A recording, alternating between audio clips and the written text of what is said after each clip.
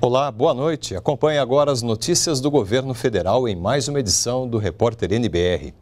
E a gente começa esta edição com um alerta da Receita Federal sobre um golpe que está sendo realizado por carta. Os bandidos voltaram a enviar para os contribuintes correspondências para a residência com uma espécie de intimação para que as pessoas regularizem dados cadastrais. No comunicado, há um endereço eletrônico para acesso e atualização de dados bancários. De acordo com o governo, o endereço informado não tem nenhuma relação com o site da Receita Federal. Apesar da carta apresentar o selo da Receita Federal, o documento é falso e o governo alerta para que os contribuintes não acessem o site indicado.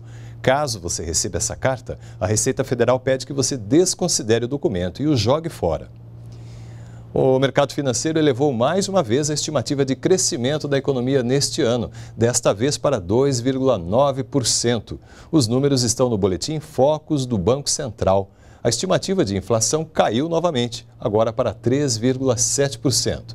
As projeções levam em consideração a Selic, taxa básica de juros da economia, de 6,75%. O ministro Sarney Filho anunciou a criação de uma grande área de conservação marinha. A decisão foi tomada após uma reunião com o presidente Michel Temer e membros da sociedade civil. O arquipélago São Pedro e São Paulo, vinculado ao estado de Pernambuco, e a cadeia de Trindade Martim Vaz, no Espírito Santo, que abriga espécies raras, serão protegidas. E para falar sobre esse assunto, o ministro participa ao vivo do programa A Voz do Brasil. Nós vamos acompanhar um trecho. Os arquipélagos São Pedro, São Paulo, Trindade e Matim Vaz, localizados na costa brasileira, mais especificamente no estado do Espírito Santo, serão transformadas em unidades de conservação federal.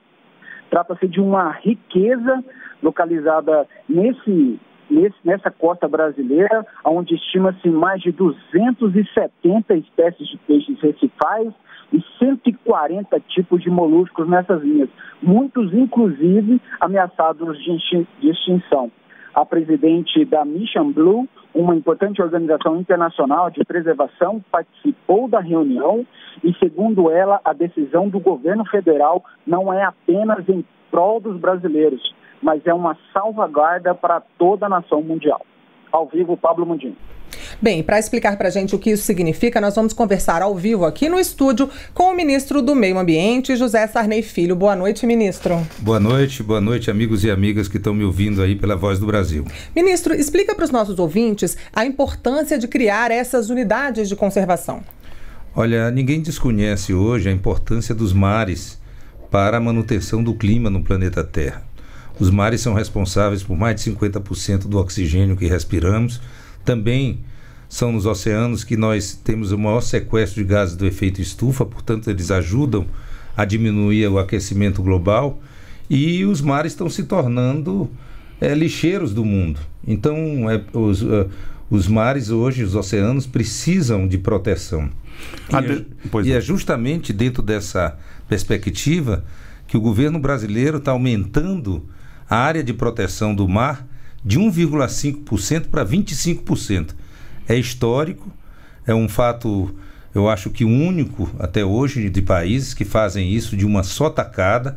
E essas, é, essas áreas são ilhas oceânicas distantes que têm é, não só vegetações específicas, mas também é, espécies endêmicas que só dão naqueles lugares e que, portanto, precisam ser preservadas. Essa decisão foi tomada hoje em reunião com o presidente Michel Temer, não é isso, ministro?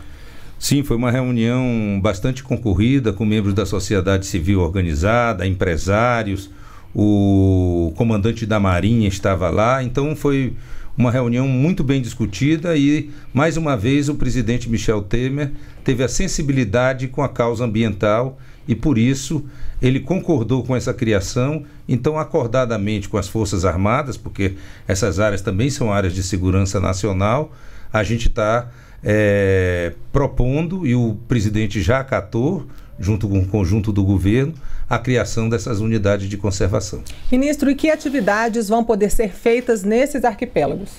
Bem, é, nós vamos criar em cada um desses arquipélagos dois, dois, dois tipos de unidade de conservação. Um são as APAs, Área de Proteção Ambiental, que você vai poder desde que o plano de manejo indique, você vai poder ter atividades econômicas planejadas, estudadas e também é, sob um, um, um critério muito rigoroso de fiscalização. E também tem áreas que são monumentos naturais, monas. Essas áreas não, essas áreas são áreas restritas, de uso restrito, não vai poder ter atividade econômica nessas áreas. E quando é que vão ser assinados esses decretos criando essas unidades de conservação? A ideia é que até dia 12, segunda-feira, já esteja o decreto pronto e assim que tivermos o Fórum Mundial das Águas, que vai ser aqui em Brasília, o presidente vai anunciar no primeiro dia. Nós agradecemos aqui então, ministro, a presença do senhor ao vivo aqui na Voz do Brasil. Eu que agradeço, muito obrigado pela obrigado. atenção. Boa noite.